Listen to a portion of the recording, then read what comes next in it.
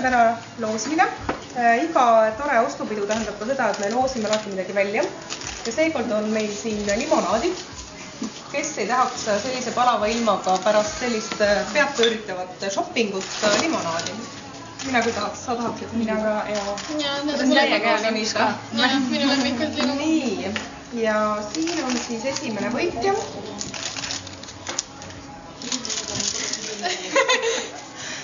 Ähm, Liia Pajusaar. väga kuulus perekonnanime. aga Liia Pajusaar on siin kohal ka. ei ole, aga siis me istume liiale.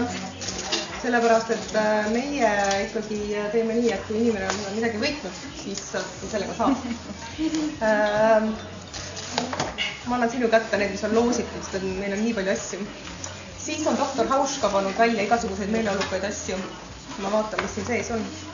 Ma ei tea, kas tasub üldse loosida, võib-olla peaks koju viima selle, ma vaatan siin on. näed, siin on näotoonik, väga hea lennukis kasutada mm,. siin on äh, sidruni ja sidrunheina kehakreem. mis siin veel on? ja siin on näopiim, kuulge, äkki loosime endale ma selle jätan küll endale, ma arvan. ühesõnaga, tooteid on veel, ülejäänud jäävad saladusse ja, ja vaatame, kes selle võidab. Kas sina oma noorte silmadega näed? nii, vaatame. Kai Koorm. kas siin on Kai Koorm? Kai on läinud välja ja ei saa pahaks panna, sest et väljas on rannailm. Kai Koorm on see, kes saab selle doktor Hauska koti. nii. aitäh. ja siis vaatame veel, kes äh, peab lugu limonaadist ja siin on, ei ole mitte ainult äh, limonaadid, vaid siin on ka kõrred. Et saad näiteks võtta mõne toreda sõbranna kaasa või miks mitte sõbra ja siis koos ühest kõrrest või kahega kõrrega juua. vaatame, kellele see läheb. Anita, kas sina? okei. ei, see on väga kohutav. aga see maniküür on sul täiuslik, millega sa saad.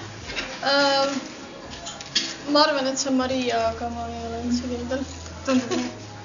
ja, aga ta on vähemalt oma telefoni jätnud, ta on Maria või Marion või. Mario. üks kahest või kolmest. vot siin on selline tore mm, huvitava käekirjaga inimene, kes saab taas äh, limonaadi ja siis on doktor Hauska kott. taaskord, sa tahad endale jätta või?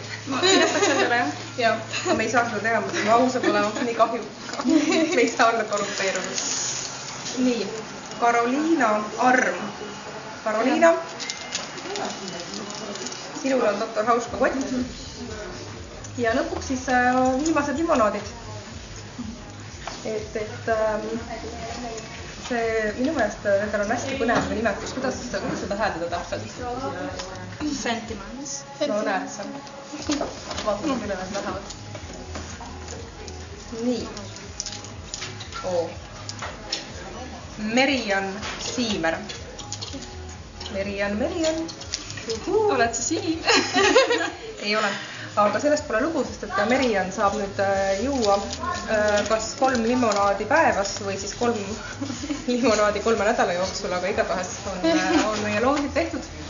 ja siis äh, ma arvan, et jätkame šokk ja palju õnne võitjatele. ja palju õnne võitjatele.